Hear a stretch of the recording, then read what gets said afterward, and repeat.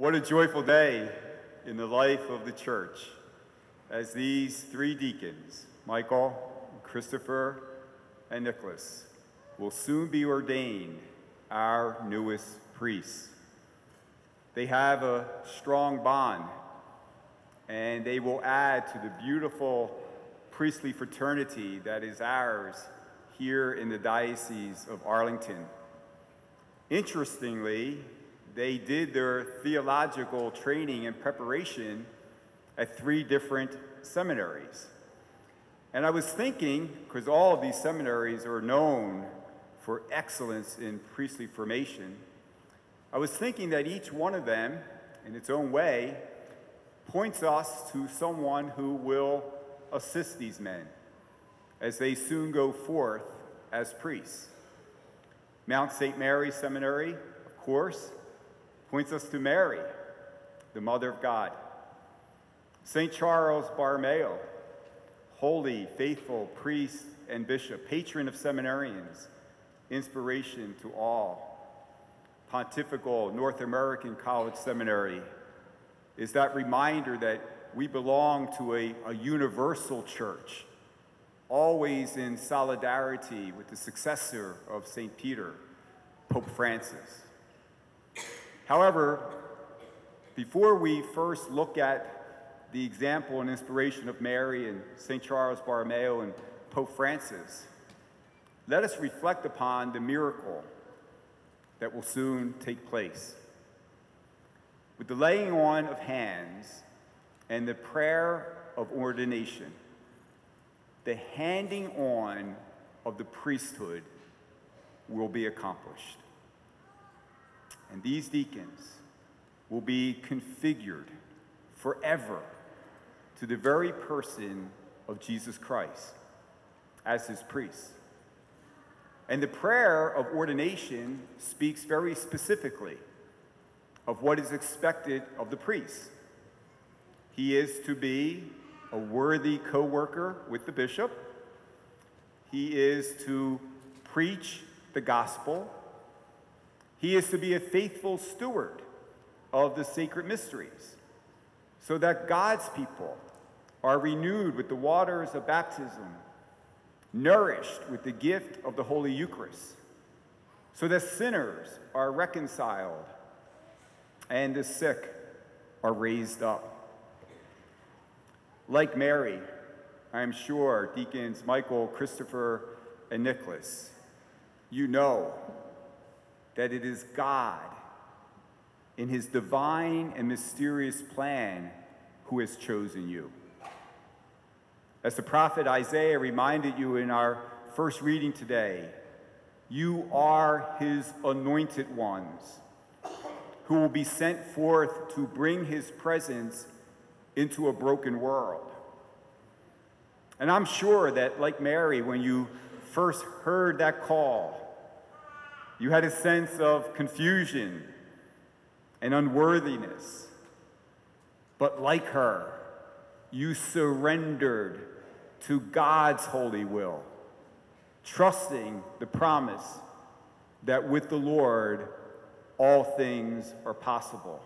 That is why you were able, just a few moments ago when your name was called, to say present in a sense, you were echoing Mary's yes.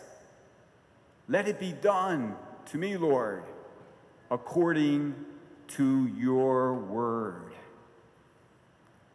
So be sure to rely always on Mary's help, because that yes has to be renewed every day with a firm resolve to, to live out your promises of respect and obedience your commitment to the celibate state so you serve the Lord with an undivided help. Always turn to her. You are her sons, and she is your mother, the mother of all priests. And on this day that the church celebrates the solemnity of the Immaculate Heart of Mary, we entrust you and your priestly ministry to her care. with the prayer that she will watch over you always. If you are going to bring the presence of Jesus into the world, you must do so through the authentic and joyful proclamation of the gospel. St. Charles Borromeo says, apply yourself to this task and do everything necessary so that you do it well, remembering that you first preach with the example of your life.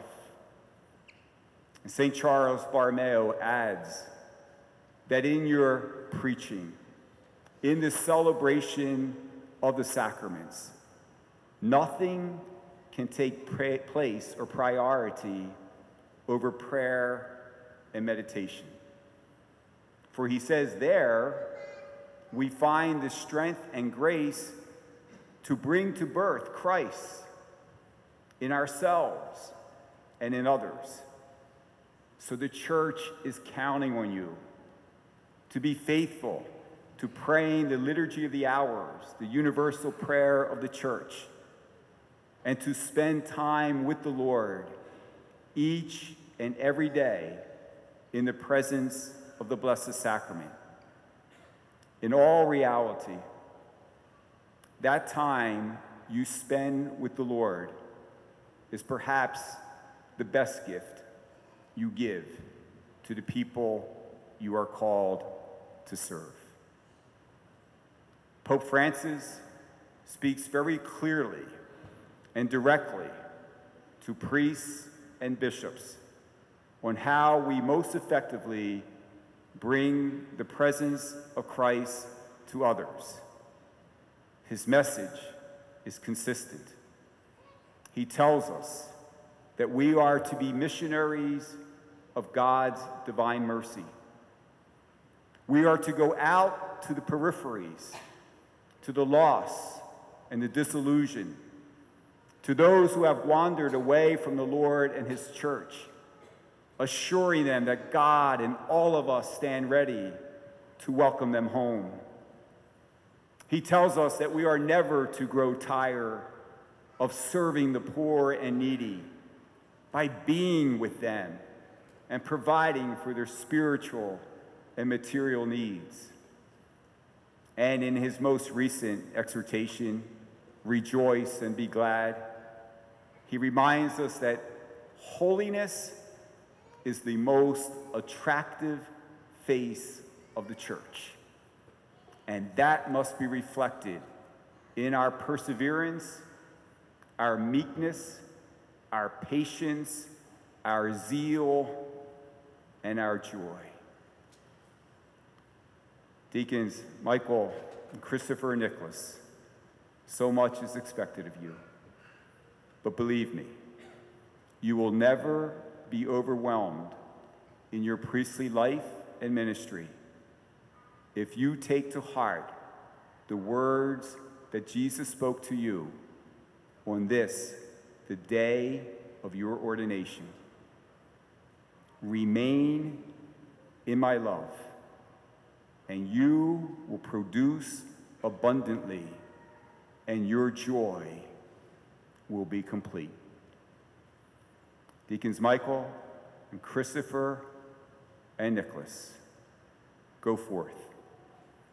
And in your preaching, in the celebration of the sacraments, through your humble and sacrificial service, and by the example of your life, proclaim to others that in Christ Jesus alone, we have every reason to rejoice and be glad. May that joy be yours today and throughout your priesthood. Amen.